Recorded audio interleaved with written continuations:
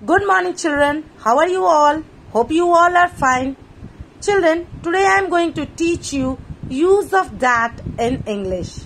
बच्चों आज हम लोग यूज़ ऑफ़ दैट पढ़ेंगे कहा हम लोग दैट का यूज़ करते हैं पिछले वीडियो में मैंने आपको पढ़ाया था use of this this use करते हैं हम उन थिंग्स के लिए जो हमारे बहुत पास होते हैं जिसको हम अपने हैंड से टच कर सकते हैं उसके साथ हम दिस यूज़ करते हैं। Things which are very near to us which we can touch by our hands in that we use a this हम लोग उसमें दिस यूज़ करते हैं, जो बहुत पास होते हैं। और दैट हम लोग यूज़ करते हैं things which is very far from us which we can not touch from our hand तो बच्चों, जो थिंग्स जो होते हैं, जो भी चीज़ जो हमारे बहुत दूर होते हैं हमसे बहुत दूर होते हैं, जिसको हम अपने हाथ से टच ही नहीं कर सकते हैं, छू नहीं सकते हैं। तो उसमें हम लोग डैट लगाते हैं। दिस का मतलब यह होता है और डैट का मतलब वह होता है। जैसे आपके बच्चों, आपके घर में ए फ़ैन तो होगा। फ़ैन ऊपर में जो फ़ैन लगा रहता है सीलिंग फ़ैन वो आपसे बहुत दूर है ना? क्या आप उसको टच कर सकते हैं? नहीं ना? तो उसको हम लोग कैसे बोलेंगे? दैट इज़ अ फ़ैन वो एक पंखा है। तो बच्चों, यहाँ पे मैंने कुछ एग्जाम्पल्स दिए हैं आपको। आज मैं कैसे, कहाँ पे हम लोग यूज़ ऑफ़ दैट करते हैं, वो आज हम लोग पढ़ेंगे। सबसे फ़र्स्ट में आप देखिए, ये क्या है? डैश इज़ अ फ़िश ये जो फ़िश है, ये हम लोग से बहुत दूर है। इतना दूर है कि इसको हम लोग टच नहीं कर सकते हैं। तो इसके साथ हम लोग क्या लगाएँगे? डैट लगाएँगे ना? क्या राइट करेंगे? That T H A T that इसको क्या पढ़ेंगे? डैट इज़ अ फ़िश वो एक मछली है। मछली कहाँ है? दूर है ना? पास में नहीं ना? उसको हम लोग टच नहीं ना कर सकते हैं। तो उसके साथ हम लोग क्या लगाएँगे? डैट लगाएँगे। Now next number second dash is a tree ये जो पेड़ आप देख रहे हैं ये बहुत दूर में है हम लोग से। बहुत दूर है ना? तो इसके साथ में हम लोग क्या लगाएँगे? डैट तो यहाँ पे क्या राइट करेंगे? That T H A T that तो उसको क्या लिखेंगे? That is a tree that is a tree मतलब वो एक पेड़ है। और ये पेड़ कहाँ है? बहुत दूर में है। जिसको हम लोग अपने हैंड से टच भी नहीं कर सकते हैं। ठीक है? तो जो भी चीज़ जिसको हम लोग छू नहीं सकते, जो हमारे बहुत पास नहीं होते हैं, जो हमसे दूर होते हैं, उसके साथ हम क्या यूज़ करते हैं? डैट यूज़ करते हैं। Now next number third dash is a log तो इसमें हम लोग क्या यूज़ करेंगे बच्चों? आप बताओ। जब ये देखो आप दूर में है ना ये लॉग तो लॉग अगर दूर में है, कोई भी चीज़ जो हमसे दूर है जिसको हम अपने हैंड से टच नहीं कर सकते, उसके साथ हम डैट लगाते हैं। तो ये क्या लिखेंगे? T H A T that is a log वह एक लॉग है। लॉग कितना है? एक है ना? एक ही लॉग का पिक्चर आप देख रहे हो ना? एक ही है ना? तो इसलिए यहाँ पे लॉग लिखे हैं हम लोग। और आपको एक बात और बताती हूँ बच्चों। डैट या दिस दोनों सिंगुलर के लिए लगता है। मतलब कि वन के लिए लगता है।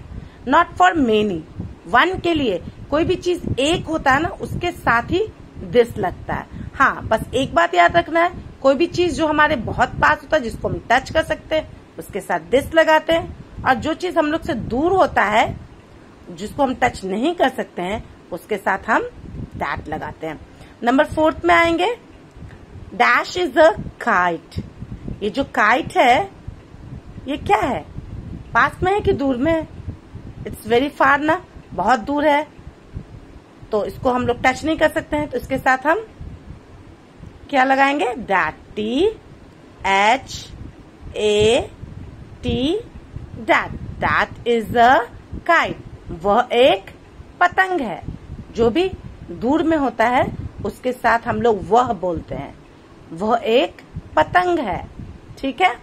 नाउ नेक्स्ट नंबर फिफ्थ में, अगर मैं आपसे पूछूँगी व्हाट इज़ डैट तो आप क्या आंसर दोगे? क्या आंसर दोगे? ये दूर में है ना हट तो यहाँ क्या राइट करेंगे? डैट है ना? T H A T that is a hut वह एक हट है. मतलब कि ये जो हट है, ये हम लोग से दूर है, इसलिए हम लोग इसके साथ डाट लगा हैं. Now next number six dash is a ball ये जो बॉल है, ये बहुत दूर है तो इसके साथ हम लोग क्या लगाएँगे बच्चों?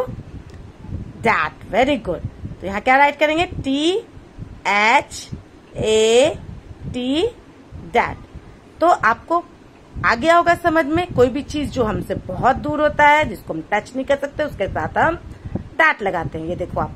टैट इज़ अ बॉल वह एक बॉल है। क्या है ये? वो एक बॉल है।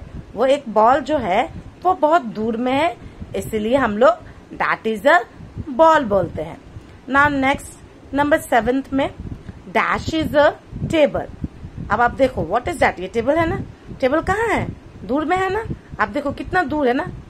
दिस में हम लोग यहाँ पर पिक्चर बनाए थे ना एकदम पास में, और डैट में हम लोग पिक्चर कहाँ बनाए दूर में बनाया ना? तो जो जो भी जो भी चीज़ हमसे दूर होता है तो उस, और एक होता है तो उसके साथ हम लोग डैट लगाते हैं। तो यहाँ पे क्या राइट करेंगे? डैश इज़ अ टेबल है तो क्या राइट करेंगे? That T H A T that is a T A B L E table वह एक टेबल है। नाउ नेक्स्ट नंबर एट में आएँगे डैश इज़ द टॉप ये क्या है? टॉप है ना? और ये टॉप बहुत दूर है। तो इसके साथ क्या लगाएँगे? दैट लगाएँगे ना। यहाँ राइट करेंगे T H A T that is a top वह एक टॉप है। है ना? टॉप क्या होता है? टॉय होता है ना? और ये टॉय जो है, एक एक टॉप है। तो इसलिए हम लोग यहाँ पे राइट भी किए हैं टॉप और इसलिए ये क्योंकि दूर है तो इसके साथ हम लोग क्या लगाए हैं? डैट लगाए हैं।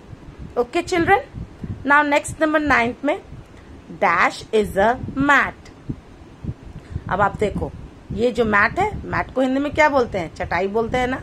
आप सबके घर पे होगा ना ये? तो आप जो ये देख रहे हैं मैट ये दूर में है, ये भी दूर में है ना? ये पिक्चर यहाँ भी देखो, दूर दिखाने के लिए मैंने इसको दूर में फार में एकदम ड्रॉ किया है, ताकि आपको समझ में आ जाए कि दिस और डैट कहाँ लगाते हैं। आप देखो डैट अगर यही पिक्चर जब मैंने दिस पढ़ाया था तो यहाँ बगल में एकदम पास में बनाया था और डैट पढ़ाने के लिए मैंने दूर बनाया है। तो ये दूर में है ये मैट। इसको हम लोग टच नहीं कर सकते हैं अपने हैंड से। तो इसको इसमें हम क्या लगाएँगे? That. T, H, A, T. That is a mat. That is a mat. वह एक मैट है। क्या है? वह एक मैट है। Now next number ten this is a book अब आप देखो, ये बुक जो है, बहुत फार है, बहुत दूर है हमसे। इसको हम लोग टच भी नहीं कर सकते हैं। तो फिर इसके साथ हम लोग क्या लगाएँगे? डैट लगाएँगे ना? और डैट की स्पेलिंग क्या होती है? T H A T that is a book क्या है ये? वो एक बुक है, जो ऐसा बुक है जो दूर है, जिसको हम लोग टच नहीं कर सकते हैं। तो बच्चों, आपको समझ में आया होगा दैट हम उन चीज़ों के लिए लगाते हैं जो हमसे बहुत दूर है, जिसको हम लोग अपने हैंड से टच नहीं कर सकते हैं।